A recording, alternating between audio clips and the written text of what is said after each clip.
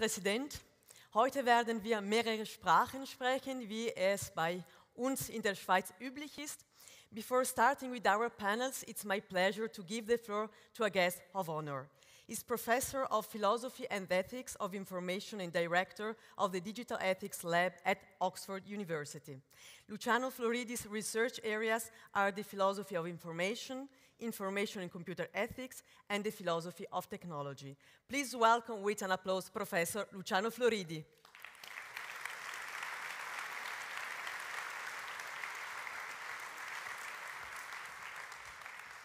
Buongiorno professore e benvenuto a Basilea. Grazie.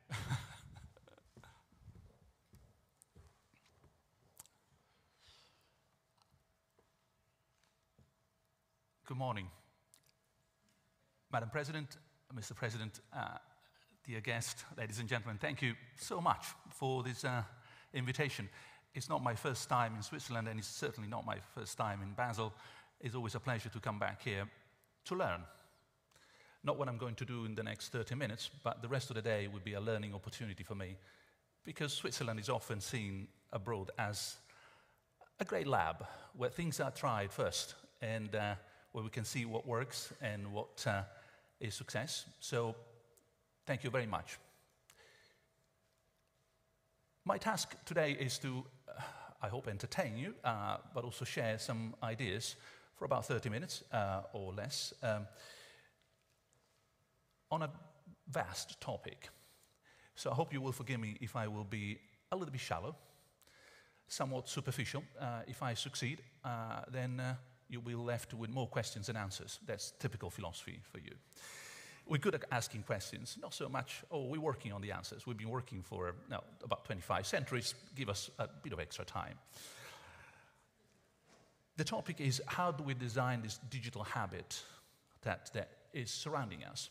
So, um, in order to uh, make sure that we follow a path and I don't overspeak, I will uh, rely on a little map. I shall discuss a little bit about this new habitat, this new environment, what it looks like. What are we really talking about when we talk about a digital environment?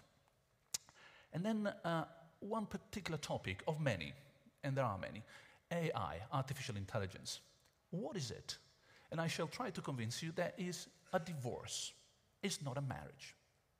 It's a divorce between intelligence and agency is because we are divorcing these two entities, and therefore we have gadgets and things that don't have to be intelligent in order to be successful in doing this and that, that we have artificial intelligence today.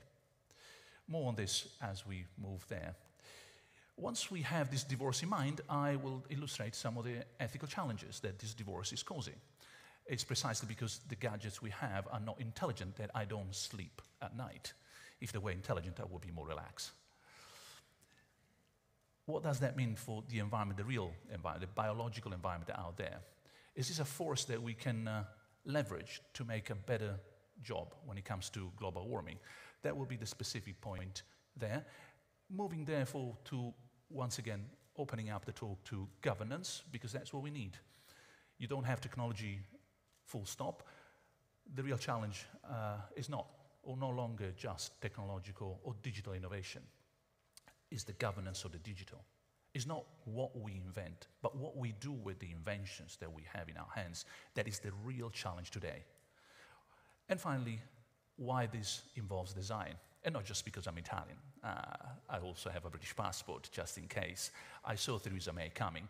Um, but the design here uh, is what lies behind governance, which is the good way of handling technology, which is good for the environment. So we will back to the point. Now, this little map will come back uh, once we are halfway through. But let's talk about the new habitat. So we live onlife. That's not a misspelled word. That's not a typo. Asking today someone whether he or she is online or offline means being from the 90s. I'm sorry for the people with white hair in the room. It's a question that I used to ask a long time ago. My students don't even know what the difference is anymore. Because at the moment you are here and your mobile phone is sending your geolocation uh, constantly, roughly uh, every minute, every app you have in that mobile phone. Are you online? Are you offline? You must be from the 90s if you think that that question has an answer. We are constantly online and offline at the same time. It's a mix and match. Therefore, we live in a space that is made of information and data. Again, not everywhere, and I'm constantly reminded that there are hundreds of millions of people who never made a telephone call. I know. But their life is determined by those who did make that telephone call. So when people say, oh, well, you must be really a Westerner, Oxford, not everybody lives in the infosphere. I know. But those who don't live in the infosphere yet have their lives decided by those who actually do. So let's not make any mistake. We are getting there. We are increasingly living a life. We're increasingly sharing a space that is made seamlessly of data and things, chairs and computers. The result is that um, this new habitat is a bit like a mangrove forest or a mangrove society, if you pass me the analogy. Now, mangroves, um, they don't grow in Oxford yet. Uh, uh, so we're not, global warming is not getting there yet. Uh, um, but where they grow, uh, they grow in this special environment. It's quite unique. You have the fresh water of a river and the salty water of the sea coming together. Asking there, is the water salty? Is it fresh? You, you don't know where you are, do you? It's a mangrove society. It's fresh and salty at the same time. So is it online? Is it live? Is it digital? Is it analog? It's a mix.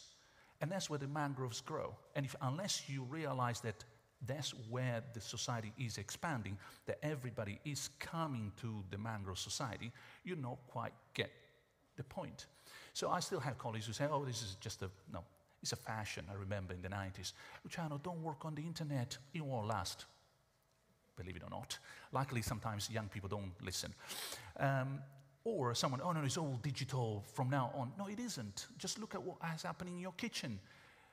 It's a bit digital, it's a bit analog, it's a bit online, it's a bit online, etc., etc. You talk to gadgets, you say, shall we say, Alexa, what's the music, and so on. So the Mangrove Society is what's happening here. And it's a bit of a forest. It's a network that is kind of a jungle, but a beautiful one.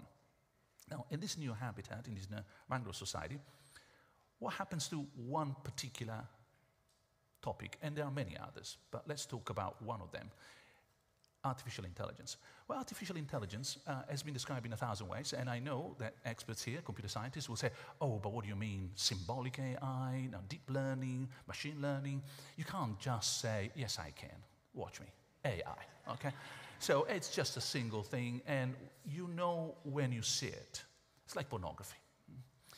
You don't have a definition, it's a classic, and I'm not the first one to say that. Uh, you don't have a definition of pornography, but you recognize it when you see it. Now, artificial intelligence is a bit like that. Of course, journalists have to convey the point, so normally it's a robot. But most of the AI we have around, it's invisible to us. Ask people, not here in this room, but in the street, have you ever used AI? Oh, never. Now, did you take a good picture with your mobile phone? Yeah, yeah, yeah. There you go. Have you ever checked what is on Netflix and found that that recommendation was pretty good? Yes, absolutely. Well, that's AI too. And don't tell me you never bought something on Amazon that was not recommended. You like this, you may like that. Well, that's AI as well. So there's a lot of AI already percolating all over the place. We're using it on a daily basis, including warehouses. Now, why the warehouse here as a picture? Look what happens to that kind of space we transform the space so that the robots inside can work successfully. In uh, industrial engineering, that is called an envelope. The envelope is the 3D space within which an artificial agent can operate successfully. The car industry you know this you know, since the 70s.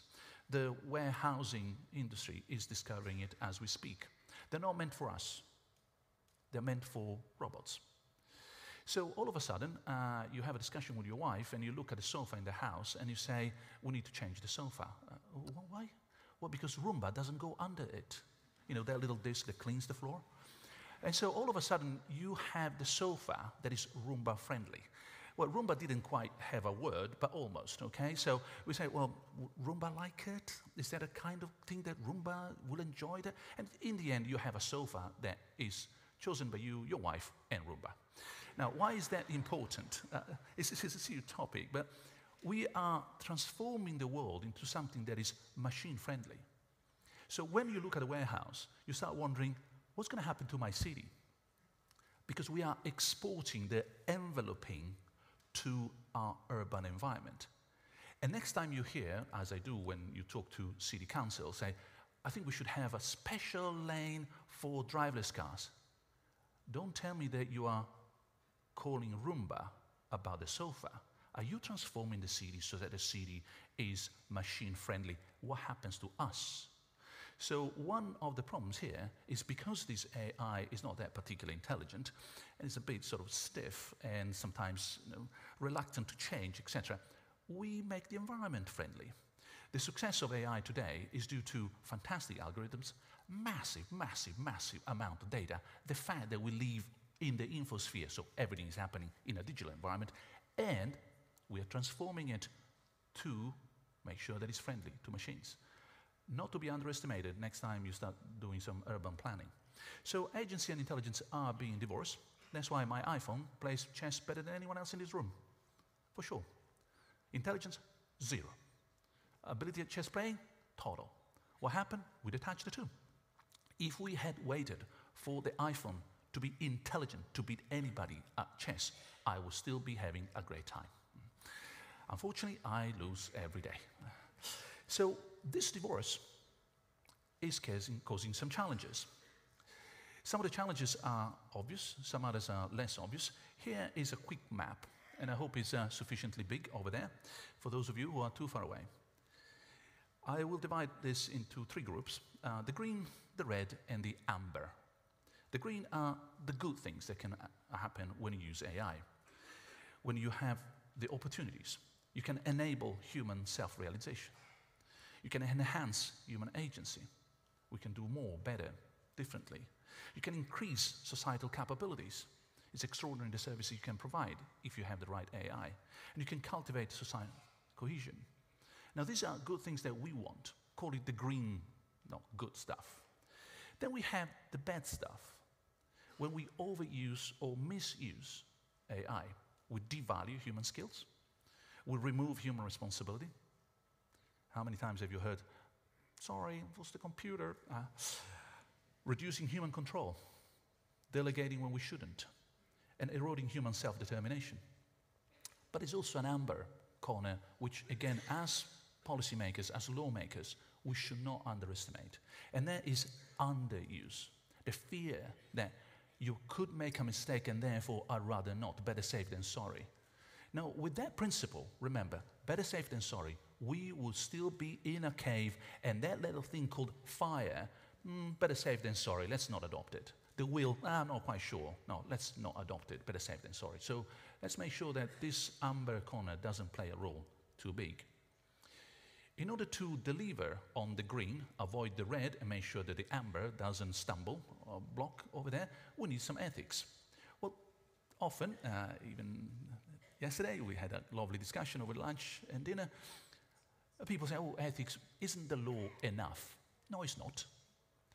And uh, as an Italian, not as a British uh, citizen, let me use a football analogy.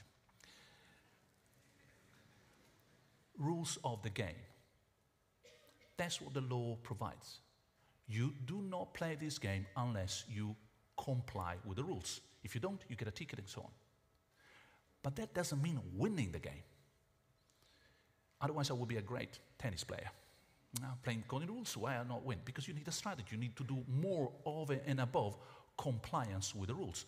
Rules are the essential. You don't even start talking without rules in place. But what can I do to do more that's what ethics does. So ethics is the more, the extra, and it happens when you need to shape the law, because maybe there isn't a law about, say, face recognition or drones next to an airport. What's the ethical debate we're having as a society in terms of what we prefer, what we would like to have? Then you have law that doesn't cover corners. That's an ethical debate as well. We have vague or grey areas covered but not so much by the law. And there are things not covered at all, not even now, not even in terms of a debate. In all these areas, that's what we need to do to decide what we like, what we don't, what we think is right and wrong, what should be done and shouldn't. So don't forget, you may do something and that something may still be totally wrong. See what Boris Johnson is doing with the parliament. You may still do it, and it's still totally wrong. Governance is something else. Um, governance is the extra. So normally we use these words, law, regulations, ethics, governance, to mean what needs to be done, what is the right, what is the right thing to do. But let me introduce a little concept here of soft ethics. This is normally what happens when you talk to a big company. The lawyers come in in the board and say, Professor Floridi, but we have plenty of lawyers. We have gazillions of lawyers. Why do we need to do ethics? Well, rules of the games, football, etc. And then you start telling them, look, what you need is to do post-compliance ethical thinking. Compliance is the requirement. Don't get even close to not compliance. You must be joking. Especially in Europe, and I'm talking not European Union, I'm talking Europe. We are pretty much on the good side of decent laws here in this corner of the world. Compliance is required. Human rights, well, maybe you don't even believe in them, but make sure that at least formally you respect them. The rest is an open space. What more, what extra can be done to make sure that we live in a better society? And I like to think that enormous agents called corporate, multinational agents, they better have a bit of ethical thinking in their minds. Compliance is not good enough. And you tell them that uh, it's like football. Play according to the rules, you end up like the British team. At this point, normally, there is another sort of objection. Okay, what new habitat? Okay, onlife on phosphere, not so many words, fine, but I'm getting it. And okay, we need some ethics. Law is not enough. But ethics, well, there are so many ethics. Ethics are, ethics is in English, okay? So it's like mathematics. It has an N uh, with an S, it's unfortunate, but it's a singular word. Ethics is, and always been is. In other words, it takes a long time, we need to work hard, but sooner or later we converge around a few basic principles. Is that the word of a philosopher? Should you believe me? No. Here is facts. So this is uh, a recent work that we did with one of my graduate students, brilliant uh, Josh Cowls, um, a comparison of some of the most important ethical frameworks for artificial intelligence in the world. I'd like to call your attention to the bottom three because they're the most important for us for today. One is the uh, European Commission our high-level expert group. I'm one of the members. We uh, delivered a framework which essentially um, was based on these five fundamental principles: beneficence, non-maleficence, autonomy, justice, and explicability. The OECD uh, inherited that work very recently and adopted pre pretty much the same framework mind that, uh, for those of you who were not there uh, at the right time, Switzerland is one of the founding uh, countries of the uh, OECD.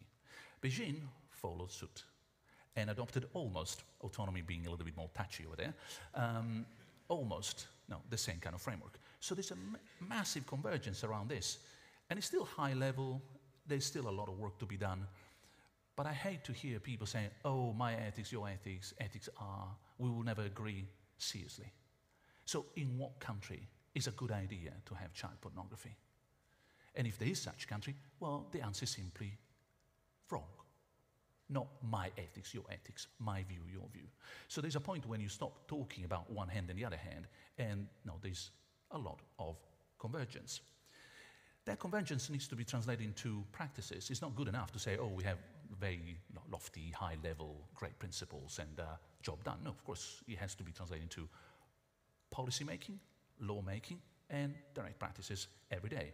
Now, that's where the specific topic uh, kicks in uh, for the next uh, 10 minutes or 15 or so. Of the many things that we could do with AI, it seems obvious, uh, at least for anyone who reads newspapers these days, well, the right newspapers, I suppose, not the ones that Trump reads, the, ah, the good newspapers, um, that, that we're not doing a good job in handling this little thing called planet Earth. Uh, in fact, if anything, uh, you hear sometimes people saying, oh, the digital technologies, are they making us more stupid? And you just wonder, in comparison to what? Because, uh, you know, we, we just came from two world wars and, and, the, and the destruction of Earth. So it's not that the past generations have done such a you know, royal job, uh, have they? So, uh, yeah, I mean, it would be more, very difficult to be more stupid than that. Uh, you know, and it's still living memory. So, two world wars, you know, concentration camps, Nazism, fascism in my own country, an Earth that is almost destroyed, and oh, the digital is making us stupid, really. Well, hopefully, it will actually make us a little bit less stupid by let us know what's going on. If we know so much about the Amazonian or the Siberian or the African fires, it's also because we have those pictures, satellite, people talking all over the place, sometimes even on Facebook if they forget their cats. So the environment is burning, uh, and in that context, the natural and the artifactual are the best ally. So I spoke to you about a divorce. That is a historical moment. We are divorcing for the first time in the history of humanity on this planet the ability to perform a task successfully in view of a goal from any need to be intelligent. Not even biological intelligence, not even a dog, a horse, or a slave, no, uh, when Aristotle was around. Now, we have gadgets that can do that. For us, instead of us, better than us. Are we going to use them properly to save the other half? And that's where the marriage should happen. So that divorce between agency and intelligence should lead to, shall we say, a fantastic marriage between technology and nature, the natural and the artifactual. We don't come from that particular tradition, but we can get there. So we will live, and this is a topic for this afternoon as well, in increasingly complex environments. This is uh, the urban population, uh, and it's pretty much uncontroversial data. Uh, cities like uh, Sao Paulo, uh, London, Tokyo, uh, and so on, Los Angeles, will be the norm, with millions and millions of people living in the same environment. The complexity there will be astounding. Do we need all the artificial intelligence we can possibly put together to manage those contexts? Of course. That is the kind of marriage we want. That is the kind of technology we need to have we're also destroying this planet. That's the global warming, and that is also uncontroversial, no matter what Trump like people think. So, as we boil to death on this planet Earth, surely our technology needs to be geared, leveraged to make a difference. And it's not nature against technology, but it's technology for nature. This is what we have somewhat misunderstood in the past. A long time ago, say my parents' generation, um, we used to have a still a circular economy. And in some corners, in a small village where I spend you know, holidays, uh, summertime, uh, south of Rome, uh, there's still that sense of not throwing away a bottle because you will need that for your sauce in the winter. Not because you are green, but because you don't throw away anything. There's nothing to throw away. So it used to be a circular economy, poor. Technology transformed that into a linear economy, rich. We bought fridges. But you buy a fridge, you use a fridge, you throw away a fridge, you buy another one. On and on and on and on again. At some point, there are too many fridges thrown away, and you don't know what to do with all those fridges, all those cars, all those things. And so, what we need to move to is circular as for millennia, because there was nothing to throw away, but rich as in recent past can be done. It's called circular economy. And I know Switzerland is at the forefront here the confusion is that some people in the green area think, oh, oh, technology was the problem, therefore it's still the problem. No, the problem was analog technology at the time. We had to lift ourselves out of poverty. That's how you know, the linear economy helped us. Now we can afford to be circular. How? Through digital technology, efficiency, efficacy. That's what AI can bring by the bucket. What we don't have much is the bottom variable, time. We need to speed up. Again, because this place is boiling. So at this point, putting all the pictures together, we should have a way of combining A with B, all those principles at the European level, at the OECD level, even in Beijing, to make sure that we move from a, a linear rich to a circular rich economy. We need to do that by using AI to make sure that the green bits of AI, the, the, the good stuff, not the red, not the amber, lead to a good environment. Can it be done? Yes. Are we doing it? No. What's the difference? Governance. coordination. And that's why Switzerland normally is seen as a great lab. You, you guys do a lot of coordination here. Uh, now, we can learn a lesson or two at a European level. Uh, how do you put together so many different minds you know, around the same policy? So, the next topic, and we're almost there, the last uh, eight minutes governance. Behind all this, and as I told you, you know, a new environment, new forms of life, a new form of agency here, which is not necessarily intelligent, but certainly very you know, efficient, very efficacious. It delivers if we use it properly. We have a problem on one hand, the environmental problem. We have a solution on the other. We need to put them together. That divorce can lead to a great marriage. Divorce agency from intelligence, that's what we've been doing as engineers, combine that detached agency that is our own power, within our power to handle, to a problem that needs all the effort we can possibly make.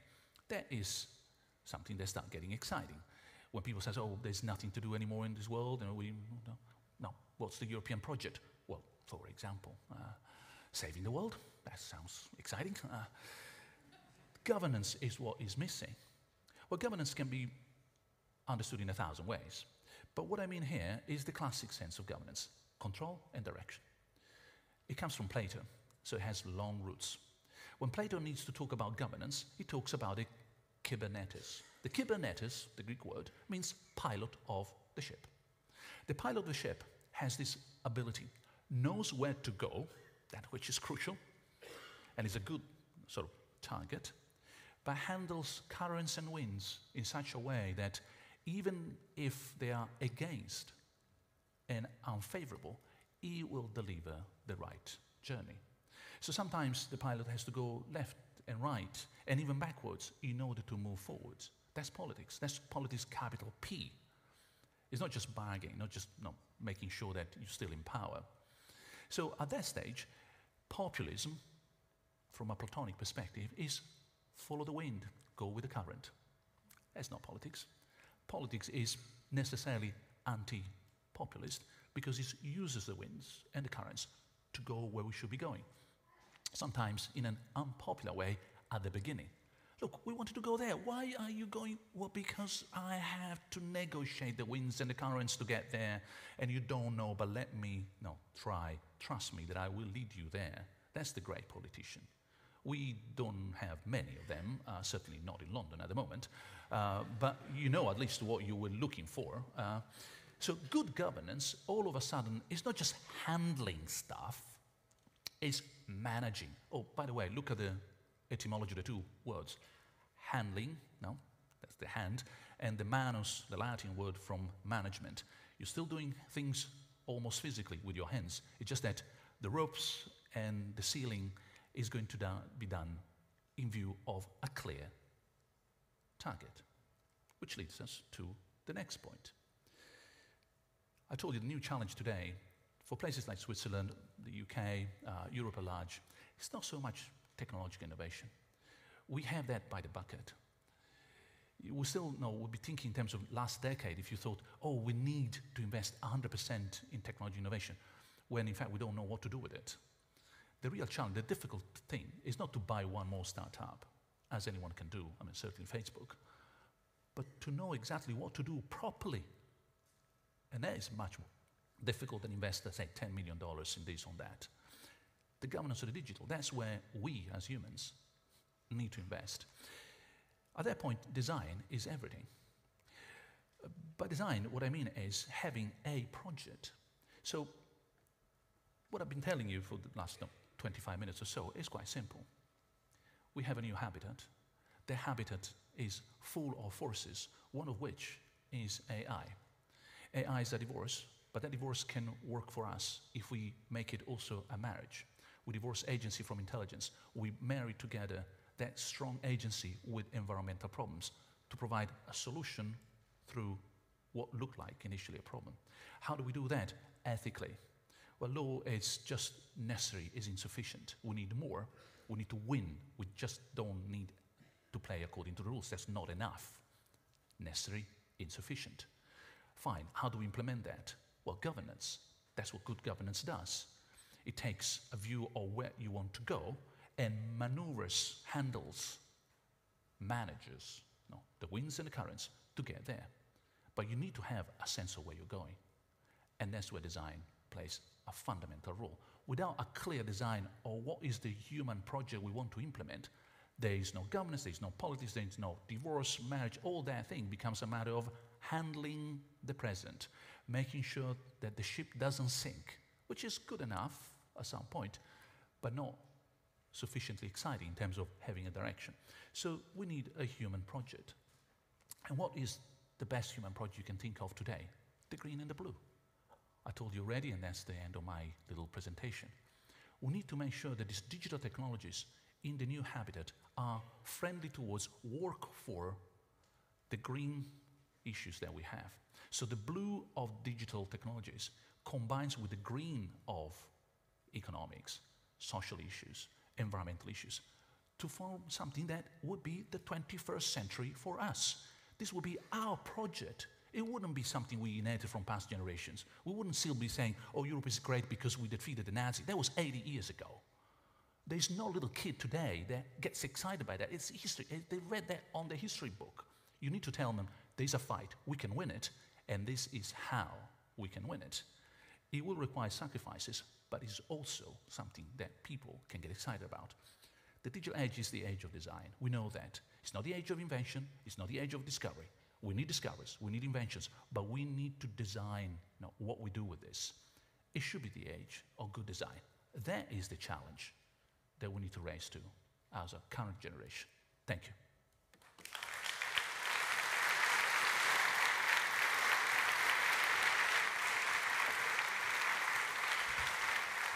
Thank you. Grazie mille, professor. Floridi.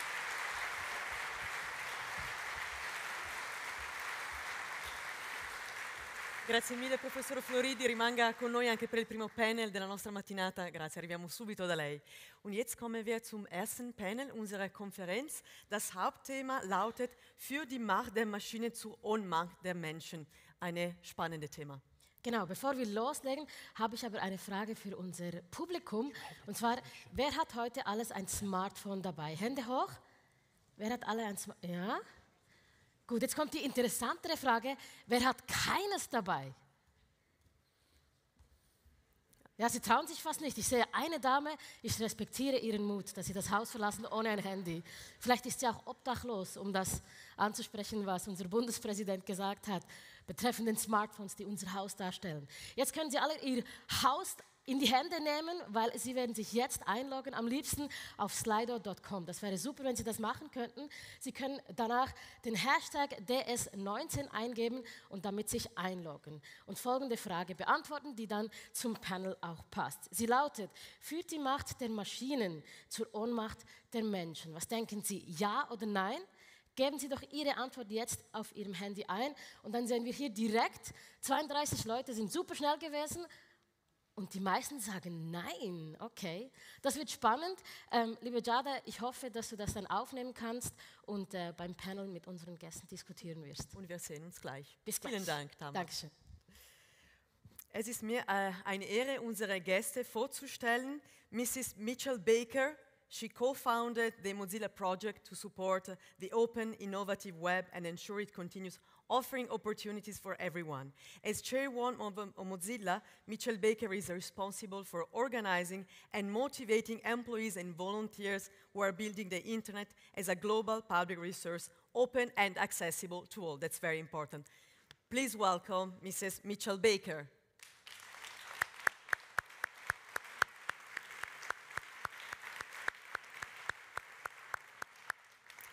And our next guest, Martina Hirayama, since 2019, Switzerland State Secretary of Education, Research and Innovation, Vice President of the Board Innosuisse, Switzerland's Innovation Promotion Agency, Member Swiss National Science Foundation's Foundation Council. Herzlich willkommen.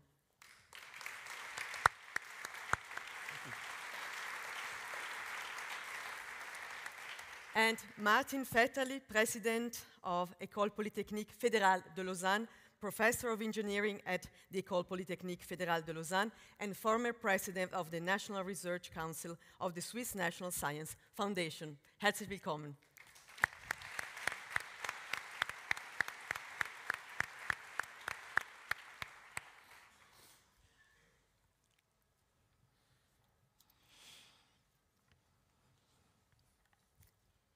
Sehr geehrte Gäste, referring to Professor Floridi's speech, I'd like to hear your thoughts, your feelings about the following question. In many ways, digitization has destroyed certainties and left us with a world of uncertainty and insecurity. Many people are beginning to have doubts. Do we still master technology progress? Um, what are your thoughts, Mrs. Baker? Well, I think we're in the very early phases. So I think we will master technology, um, but I think the timing is really unclear. I also think that, that history, you, you talked about Plato, but I, I might start with something closer. The Industrial Revolution gives us some background on what things look like. You know, technology will change society. Uh, even after the marriage, like what we look like, and even our perceptions probably of time or space or communities, they're, they're going to be different. Our perceptions today aren't the same as the 1800s or pre Enlightenment. So I do think that these spate of technologies will change what all those people in cities, their core perception of the world, not what we are as humans, uh, but, but how in the environment we react, how we think about things, and how we view our, our place. Um, and so those concepts I think we don't know. And we will change as, at least as much as, as humanity's perceptions have changed in the last couple hundred years. So I, I, I think that's almost a given. And the question is how soon can we make that marriage? How soon and how much can ethics and governance be built into the digital challenges today? Um, and uh, that, I think, is a question partly of ethics and, and governance, but partly as consumers and citizens. You know, right now we're starting to question technology or its impact, but in a way we're still giddy and we're still addicted. And so the idea of if something X were to go away, however worried we are, we'd probably be like shocked and, and uh, probably be difficult for governance to, to take away the capabilities of society today. And so I think it probably takes some generation at least to really understand what technology is. Uh, and I think there are questions does the current generation get trapped? especially with data and data mining. Like eventually we'll have to have a system where just because something exists, we don't trust it. I mean, video's not, I mean, you, you can make anything in a digital setting. So, yes, we have some history of what you did when you were 18 and it was lousy. What does it mean for your job and your life? Like, those systems we don't have yet. Um, in 100 years, we probably will, but, but how does the generation in the middle, or the generations in the middle of that process, um, will be kind of living with some of the negative consequences and trying to build ethics and systems and governments and law and products and you know cultural values about how we deal with those things. What is your opinion, Mr. Vetterli? Well, I mean, since the invention or discovery of fire to the invention of Bitcoin, uh, technology has always had these two faces, right? It has been used for good by humanity or, or it has been used for bad. And so it's a responsibility of society to decide what to do with technology. As scientists and engineers and technologists, you know, we can lay out the possibilities, but it's for society, for civil society, please note the difference, for civil society to establish the governance for these new technologies. What I'm very astonished about, I'm sorry to have to say, is how far uh, private enterprises have taken over the space of digital this digital space, um, sort of with very few boundaries uh, on ethical issues, on morality, on, you know, are we doing this for the good of humanity or for shareholder values? And we have been so far that it's just flabbergasting what I see every day showing up in terms of, you know, breach of privacy, misuse of data, and so on, to the point that the foundations of modern society, of, that is democracy, has been put in danger. And I think it's high time that politics and the civil society takes back this space. Mrs. Hirayama, uh, do you agree with what we've heard so far? I think uh, it's always uh, difficult to predict where new technology takes us. And it's worth uh, remembering a huge mistake uh, by Thomas G. Watson, former head of IBM, who predicted in 1943 that there might be a need uh, for five computers worldwide. So even he made a completely wrong prediction. Um, IBM became a very successful computer company. So this means it's important uh, to be open, to be flexible, to have uh, the best skilled uh, people, not only to follow technology, but to drive technology and, and to use it. Coming back to uncertainty, also this is not new. Looking at the last uh, industrial revolutions, uh, society also had uh, to deal with a lot of uncertainty. So, beginning of the 20th century, 40 percent of uh, the employment was in agriculture. Today it's 3%. So um, it's not that this 37% uh, uh, is unemployed nowadays, but we have different jobs and uh, different uh, demands, and this is where education plays an important role. So, our uh, compulsory education, professional education, and university education, they are very busy, not only right now, but also right now, with uh, identifying the needs uh, of the future, um, the um, skills which are necessary. And uh, I'm quite positive that our young generation will have a very good education also for the future to be fit and to drive uh, the digital transformation. But we also have uh, the older generation, 40 plus. And uh, here in Switzerland, uh, we are uh, European champions in continuing education. So about 70% of uh, the persons between 25 uh, and 65 uh, participate in a continuing education each year. That's really a lot, and this is important, but these are mainly people who already have a good education, and the ones who don't, they usually do not participate uh, strongly in, in this kind of, uh, of things. So we really have to work on this. And uh, I think it's a key factor to enable the society to understand what's going on, um, to, to deal with the uncertainties. Professor Floridi, I'd like to address a question to you. We are trying to teach machine ethical behavior. Do human beings always act ethically, or is there an ethical answer in every possible situation? In other words, can ethics be universal? Yeah.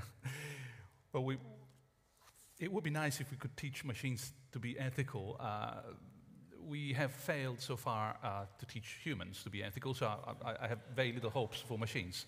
Um, but there's normally a, an important point to, serious point to be made there. Sometimes people, uh, you see a confusion between what is an ethical principle in, in say, uh, um, product design. Sometimes what we're really talking about is safety. Now, safety can be ethical, can save lives. So the, the design of a microwave is universal, everywhere, from Tokyo to Los Angeles. If you open the microwave, I tried that so many times, it always stops working, which is great because you can't burn your hand in it. Now, that design is a safety design. Is it ethical? Well, I mean, yes, it's a good thing, it should happen, but it's the minimal bare design requirement, something that should never happen. The microwave will always stop. Now, is that what we're talking about? Well, we can do a lot of good design of minimal requirement so that these machines, whatever they are, AI or not, they don't pass that particular boundary. But that, once again, is the minimal requirement. Can they discriminate between a kid playing with a plastic gun no, in, say, somewhere, say, uh, uh, in, uh, in, the, in, a difficult context, shall we say, maybe Northern Ireland, no, given the topics today, and, um, or, or a real gun? I wouldn't trust a machine ever. But I wouldn't trust a human either. I would trust much more a human with a machine. The best chess player is a grandmaster with a computer. That's the best chess player ever. That's unbeatable. So, the combination of the two, I think we can teach machine and humans to work together to improve the ethical standards, definitely. But I'm afraid we're not going to close hell. Mrs. Baker, does technology jeopardize democracy? How we can um, we counter this tendency? Well, at the current moment, you can see. I mean, I think the answer yes, right. it, it's very clear now that with social media, it's easy to target and identify individuals, and the data collection is enough that manipulation, you can go beyond prediction to manipulation. So at the current moment, like that's a, that's a significant issue, uh, and we don't know the time frame of where that will roll out in different electoral politics, but that's clearly one. And um, but in the bigger question of is that inevitable or can we do something about it, I would say it's definitely not inevitable. I mean, it's two or three years old and clear understanding. Um, in fact, I haven't seen deep, deep analysis of the Brexit votes. I've seen mostly deep analysis of the 2016 US election, uh, plus the Hungarian. So we're, we're just very early in understanding what's happening. And so the chances to make change are really possible. Um, and I think I'm not sure that it's ethics, but I also think that social convention and understanding also has to grow. I mean, most of us are using recommendation engines. Um, if you're in a social media context and you're following, um, certainly if it's a YouTube kind of video piece, you're clearly being directed every day, right? We just don't really understand that it's happening and what it means now. And so that, that needs to happen. And then I would also go back and point out you know, the Industrial Revolution was a deeply um, capital intensive and centralizing in, period in many ways. Um, and after you got through child labor, you know, and a, and a, range of issues, the democracy did expand in that period. So if you look back to what democracy was in the 1800s, you know, it's a very, very small group of wealthy landowning men. So, so even in the midst of technical challenges and, and um, the complex environments of the growth of cities, we've seen the rise of democracy as well. But we will not have exactly the same democracy as you know 1950 or 1900 or pre-World War I, whatever that meant. It will look and feel different. Uh, so society will change. Exactly what that means and how it works, I think, will be different. But if you take the value of is the citizenry the source of power in government, and can a citizen express discomfort, dislike, a desire to change government, and is there some connection between that and power, or you raise your voice? Uh, if you take that broader view of democracy, then I think the possibilities are really quite large. but we are in a moment of trauma and crisis now. Mr. Vetterli, uh, governments all over the world are trying to outplay each other with strategies to foster artificial intelligence. How dangerous is it for Switzerland to stand aside and not to enter this game? I, I must say I don't understand the question because I don't think Switzerland is a side of this game. If I look at the research level in Switzerland in the field of AI, of machine learning, data science, and so on, I think we are you know, very well positioned for a small country, thanks to the support of the Swiss Confederation, the taxpayer in Switzerland, which pays for a fantastic public research and education system. I would like to publicly acknowledge this because it's not the case in many other countries, okay? Public support for free education, okay? Yeah, you, yeah. you, know, Mitchell, what I'm talking about, right? We're both in Berkeley, and uh, the US has a little bit of challenge there. So, the research level is very good. It's actually documented quantitatively in these rankings and so on. But it's true, we have to keep doing it, and we have to keep looking for the right applications of these fields, and also help other science fields and society at large to use actually state-of-the-art data science, AI, and so on to solve what are the problems of the day. And I really liked uh, what Professor Floridi said. Probably the biggest challenge for society is not so much you know, AI, not AI, it's about global warming and how to use the know-how we can generate, uh, the data that we have access to, to actually address exactly the most pressing problem for civilization in the 21st century. Uh, Mrs. Hirayama, your state secretariat is preparing a report on artificial intelligence, and I imagine that legal issues figure in it as well. Uh, do we need more regulation with regard to digital transformation, or is self regulation the better way? It's important to find a good balance between regulation and self-regulation. Like our president uh, said before, there is a need for regulation, but we have to be careful not to regulate too much. So we should only regulate when it's really necessary. We should find a technology neutral way for regulation, that we are open for innovation, for new technologies, and This is uh, for sure uh, not an easy question to find a good way to do this. Preparing this report um, for artificial intelligence, it's not all about regulation, but it's also about the topic what's going on in Switzerland, what's going on in administration, and where could the administration use uh, artificial intelligence. So uh, we want to go a step ahead in this direction. It's very important to have the exchange with all the different federal offices because we also heard uh, before everybody is working on his own. So we have a lot of uh, potential to work together and to go ahead uh, together in the administration. And uh, yes, also to be a good example uh, for the private companies.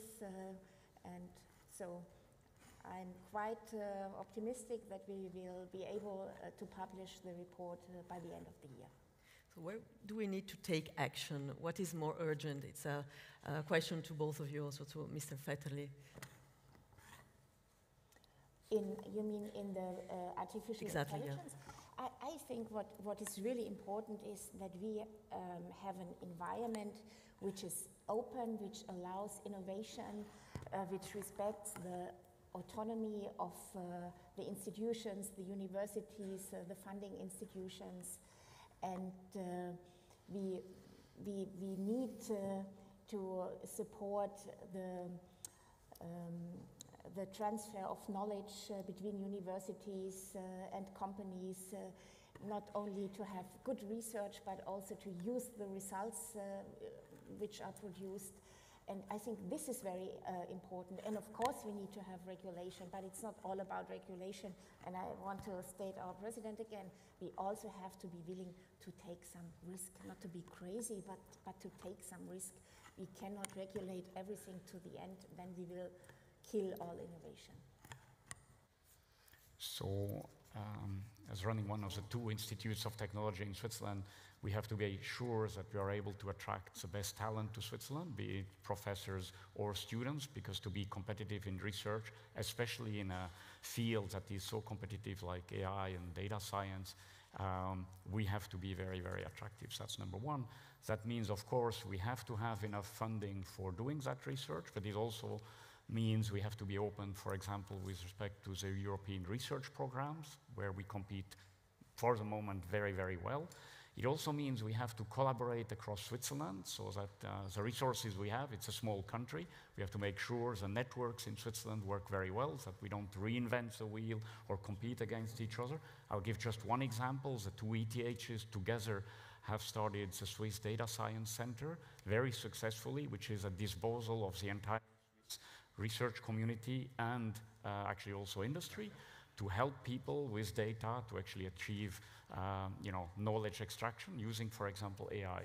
And uh, with all this together, you know, at the end, it comes out of this very, very good uh, working conditions in Switzerland that make the country very attractive and keep a leadership position. Uh, Mrs. Hirayama, what determines when technology prevail in Switzerland? Is, is the market? What is the role of the public authorities?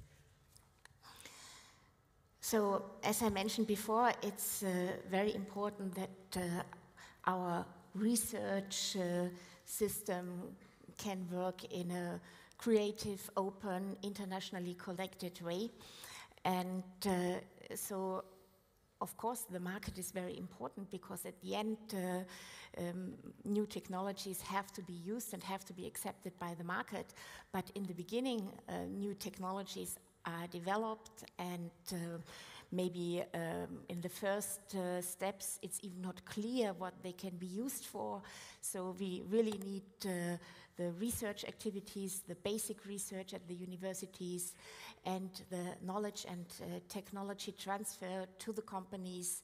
And here we have in Switzerland uh, a good system with the universities, the Universities of Applied Sciences, two funding institutions with the Swiss National Science Foundation and Innosuisse, so that we can really support uh, basic research um, to application with all the uh, technology transfer uh, which is uh, necessary. But in the end, of course, the market is very important. Mitchell Baker, uh, is it inevitable that citizens have to forego privacy in order to make the most of digitization? As asked, I'd say no. But I, I would say we are coming into an era where sensors are cheap. And so the amount of data about the environment and about us that will be available and transmitted is going up. Right, right now, what we're focused on is, uh, uh, in large part, what our phones are sending about us, how our experience, particularly on social networks, but really any app you're using on your phone, usually it's a data gathering mechanism, um, which then gets sold. So we have that piece, and I think, no, that's where we've ended up. Um, there's a separate piece, which is um, just the ability to capture and transmit data is going way up. Right? You know, every chair, every shoe, you name it. You know, within, I don't know, Moore's law. I can't even tell you how quick a time it will be. You know, the ability to gather easy information. Why is your shoe not gathering information about your posture? You know, if you've had surgery. I mean, so it, it's a small example, but but these kinds of information flows are going to go crazy. You know, uh, and so, what we do with them and how we regulate them, where they go, these are going to become bigger questions. Like, in a sense, the social media is the first of many examples that we'll see. So, trying to get it a, a, better balance in, in today's privacy issues is really important just for today, but also because more is coming. And so, I don't think it's inevitable. I mean, we have a, a, a certain business model, which is, you know, we have two things now that it, there's this sense and desire and even pressure to have your personal brand. Who's paying attention to you? Who's following you? Like, how do you communicate with people? And all of that material is now sold and monetized. So, like, the whole of human experience is the business model right now. And so, that's a piece that um, we should experiment with whether that's the right one and whether we should break it. And so that's why I say some of those may be regulatory, and others of those are our own experience as human beings and citizens. Is, is that uh, over time, is that sense of personal place in the world and that it has to be public um, really the right way for all of us to be living? Well, I, I completely agree, and I think that um, the, somewhat we missed the boat uh, of establishing a better digital environment. I'm going back to uh, what you were saying, you know, roughly in the 90s, we, we misunderstood all this technology for another stage in communication technology. We did not realize that we were building a new environment.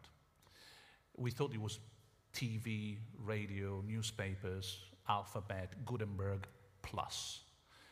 And all of a sudden, uh, we thought, okay, well, let's this market develop. This was in the 90s, Clinton administration and so on, and then we will regulate as we did in the past. I mean, it was easy you know, to see things that way at the time. Uh, some people, a few of us, and academics and so on, we saw this differently. Now that we have realized finally that this is not a communication only device, it's something that you live in. So I don't live on TV, but I live onlife. I live on the web. I spend hours know, in that particular environment. Whoever builds the environment owns the space. And now that space is owned by private companies. So that mistake has been made. How much we can reverse that mistake, it's open to debate. Certainly, in my view, regulation is essential. Now that we have all this data floating you know, all over the place, being collected at every corner, any time, by everybody, not just companies, but also governments, including you know, in my own country, back in the UK, more CCT cameras than you can possibly imagine per person. Surely, what you want to make sure is what are you going to do with the data? Because maybe we can stop the flow of the data going, maybe not, I don't know. But surely we can do a lot about what happens to the data once they are collected. And that's why we are in a good position around this you know, corner of the world in, in Europe with the GDPR and everything else.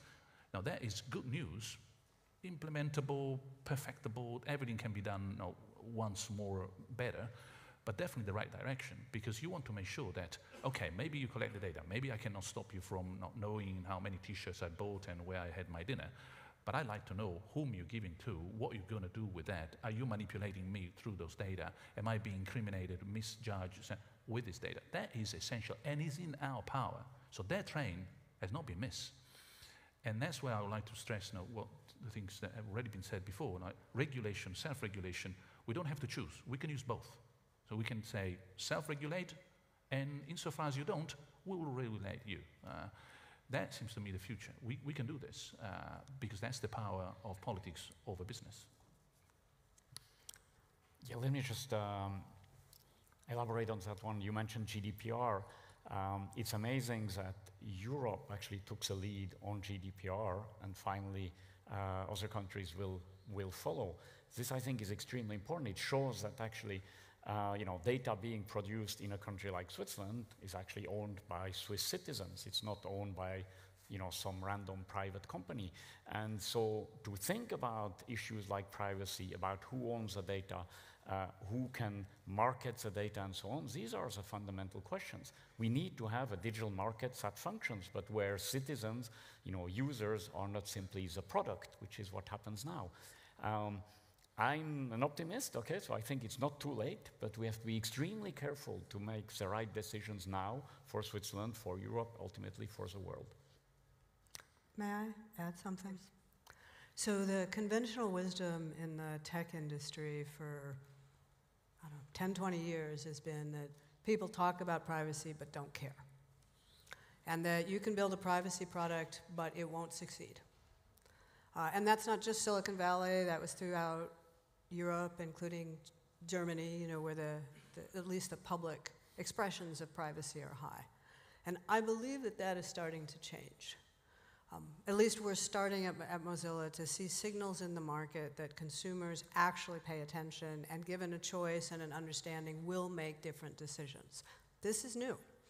And the, the, the connection to the GDPR is that um, it both sends a signal about governance and law and required compliance, but it is another signal from society that the values of privacy or personal security are becoming market forces. And that would be a phenomenal change. So this is partly a plea. You know, at Mozilla, we try to make product, um, but a plea that if you see or experience or find products that have privacy characteristics, even if they're narrow, like as consumers adopt those, it sends a signal to the market that this is actually a time when security and privacy features that are real in products will be accepted. And I think that's a key piece of the cycle because we need these products, even if they're niche products, to start to demonstrate what's possible. So I'll, I'll give one example, only one, because I don't want to be a commercial. Uh, but, but we have a, a feature for Firefox users that restricts the ability of Facebook to track you as you travel around the web. so it's not an alternative to Facebook in any way, but it, it, it limits the data that Facebook collects. So the signal of the number of people who use that is important to us. It, it's, a, it's an extension currently, so it's, it's, very, it's the fastest growing extension we've ever had. So now we start to get data points for the design of products that say something that's focused on privacy and security will actually be adopted in society. And that, that those are investment signals into the market and into you know new companies. So I want to encourage you. You know sometimes they feel small or you know not worth the time, but but those market signals are really key, and that's how we get the examples of what's possible and how you could regulate well. And it's very hard to regulate when there's nothing out there that points the way for you. But as we get these products, even if they're not used by hundreds of millions of people, if they're used by tens or a hundred million people and they work well, that is a real helpful element in how to regulate something effectively. Thank you very much. Please. We very often talk about technology, but uh, the aspects of how to use that data um, that's not about technology. So humanities play an important role in this uh, discussion we really have to have in our society. And also we have to consider the different culture. So um, it's important that we have a discussion in Switzerland, but that we also have a discussion uh, in the international uh, context with the international organizations, and we have to find ways, um, yes, how to use uh, this uh, value, but uh, also we have to find the limits, and probably the definition for this will not be the same in all countries uh, of the world. We still have a few minutes left. I'm wondering if the young people have a question. Tama, do have our young audience also a question to address to our guests? of course. My microphone, thank you very much. Yes, of course, we do have a question, but before I get to the question, I would like to get back to our survey we had at the beginning before you uh, started the discussion. Um, I asked the people whether they believe that the power of machines will make us humans feel less powerful. And the answer was 70% um, say no, only 29% of the audience thinks yes, it could indeed feel us powerless. And the question is also connected to the one our youth has, um, which will also be discussed in their presentation later on. The question is how do we make sure that we keep the control over the algorithms before they take over control over us? Who would like to answer? Mr. Vetterli would like to start. Well, make sure you, you can always pull the plug. Or So more seriously, I mean, uh, you know, and, and, and Professor Floridi said it very well. It is for society to decide which algorithms are actually running. Right now, we're just in sort of a blind mode where we are sort of society at large is not aware of what is really happening. This is sort of a no man's land where companies have made huge progress, very interesting technology, without really society understanding that you know the rug was being pulled under their feet. Uh, you know, data is a new oil, but who owns the oil? It's not us who provides the data. You know, what we do with it, done by algorithms, is interesting, but we should be in the driver's seat of what we really want. I think it's a question of, I call this digital maturity, which means that the society has to understand what is happening. This happened with the first industrial revolution, it's happening now. This is also related to education, so that the population at large understand what is going on and then takes the right decisions. Thank you very much indeed. I think you need to go to uh, Geneva, Mr. Vetterli and Mrs. Baker. Thank you very much indeed for this conversation, and thank you to Thank you. Tama for this question and the young audience. Thank you so much. Thank you.